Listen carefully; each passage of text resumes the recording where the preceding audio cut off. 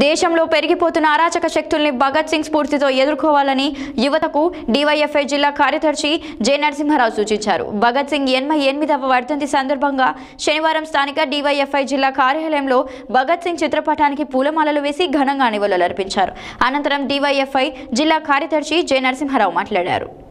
భగత్ సింగ్ ఎనభై ఎనిమిదవ వర్ధంతి సందర్భంగా శనివారం స్థానిక డివైఎఫ్ఐ జిల్లా కార్యాలయంలో భగత్ సింగ్ చిత్రపటానికి పూలమాలలు వేసి ఘనంగా నివాళులర్పించారు. ఈ సందర్భంగా డివైఎఫ్ఐ జిల్లా కార్యదర్శి జె నరసింహారావు మాట్లాడుతూ విద్యా ఉపాధి హక్కుల కోసం కుల మత రహిత సమాజ నిర్మాణం కోసం భగత్ సింగ్ స్ఫూర్తితో ఉద్యమించాలని పిలుపునిచ్చారు.